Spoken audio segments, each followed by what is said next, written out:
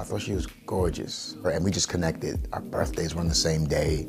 A lot of things just kind of, wow, this only makes sense. When Chadwick and Jalana Walsh met in 1991 on the campus of Oral Roberts University, their chemistry was undeniable. I was drawn to him because of his passion for the Lord. Instantaneously, we became best friends. We started ministering on the street and we go door to door witnessing. Their next step was marriage in 1994. The first seven years were wedded bliss. They were serving together in ministry, now as associate pastors at their church, while Chad worked another full time job. Together, raising their two children, the Walsh's romance was flourishing. I have pictures all over my desk, and I said, Ooh, that's your wife? Yeah, that's my baby right there. Proud and loving. But by their 12th year of marriage, the pressures of life seemed to mount all at once. They lost their first home when Chadwick was laid off. Jalana lost her father to cancer, and she was having complications with her third pregnancy. The romance kind of died down in our marriage because here I am pregnant and you know, don't touch me. I just kind of wanted a friend at that point. I was dealing with loneliness and hurt from having both of my parents gone, and he was working a lot trying to pay bills. I began to be distracted by the cares of this life, and it really began to just deteriorate my devotion to the Lord. Chad's quality time with God and his family were replaced by a growing addiction to pornography. So I clicked out of curiosity, and it opened up to a whole new world a disgusting world, but at the time was appealing to me. To hide that from my wife, I was definitely feeling as if there was a part of me dying. Continuing to serve as ministers, the couple agreed to share their home with three friends in need of temporary housing. Chad and one of the women began an affair. On the day the friends were set to move out, Jalana caught Chad and the woman together.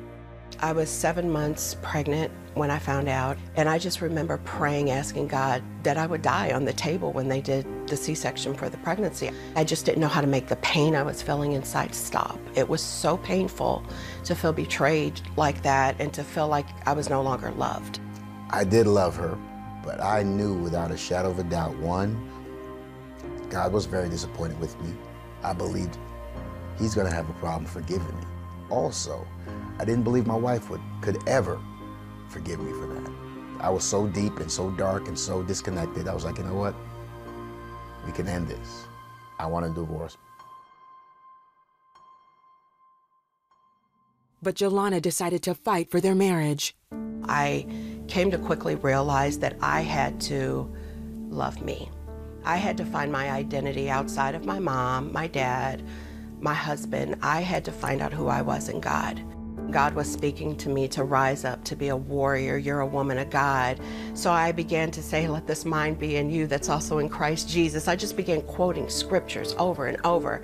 Eventually, the Word of God was getting inside of me and it was building me up and making me stronger.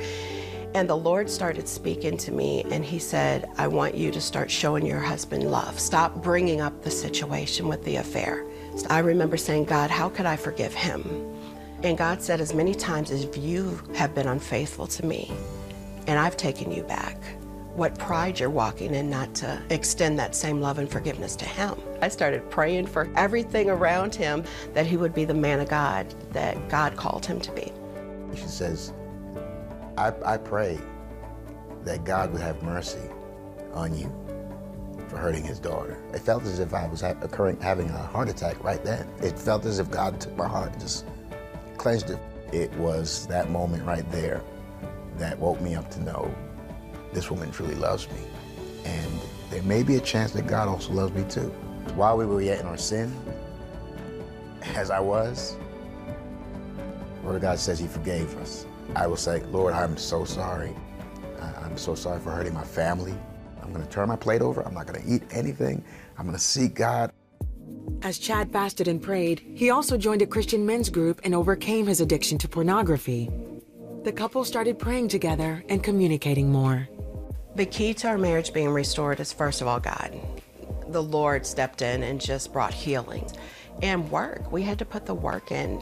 We renewed our vows. At that wedding, we actually exposed what happened, and jaws were dropping like, what? We had no clue.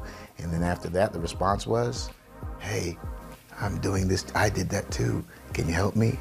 Now that God has restored their union, they counsel couples through their ministry Forward Marriage. The Walshes share their testimony in their book called Infidelity. We're not the couple who had a messed up marriage. We're a couple who went through a storm, made it through. There is absolutely hope for any marriage that's going through problems, betrayal, infidelity. I know firsthand that God can heal any marriage. I know it.